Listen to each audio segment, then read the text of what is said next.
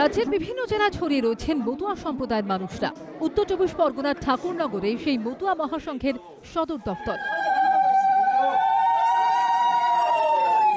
মতুয়া মহাসংঘের প্রধান উপদেষ্টা, মতুয়া সম্প্রদায়ের মানুষের মধ্যে যিনি বড় মা নামে পরিচিত। আঠেরোই অক্টোবর একশো বছরে পা দিচ্ছেন বিনা পানি দেবী। তার শতবর্ষে পা দেওয়া উপলক্ষে মুখ্যমন্ত্রীর নেতৃত্বে তিন সদস্যের বিশেষ কমিটি তৈরি করা হয়েছে। পনেরোই নভেম্বর ঠাকুরবাড়ি যাবেন মুখ্যমন্ত্রী। ওই দিনই বড় মার জন্মদিন পালন করা হবে। রবিবারে কথা জানিয়েছেন খাদ্যমন্ত্রী জ্যোতিপ্রিয় মল্লিক।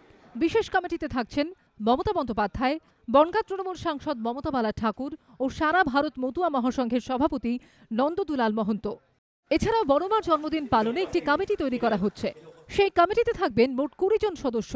প্রতি জেলা থেকে একজন করে প্রতিনিধি থাকবেন এই কমিটিতে। তবে এই তোড়জোড়ের মধ্যেই বড়মার জন্মদিন নিয়ে বিতর্ক তৈরি হয়েছে খোদ মতুয়া ঠাকুরবাড়ির অন্তর্মহলেই।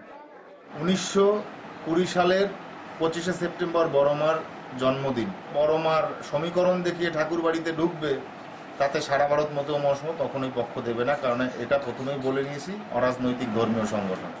যদিও এসবে কান দিতে রাজি নন খাদ্যমন্ত্রী তথা তৃণমূলের তরফে মতুয়া মহাসংঘের অত্যন্ত ঘনিষ্ঠ বলে পরিচিত জ্যোতিপ্রিয় মল্লিক।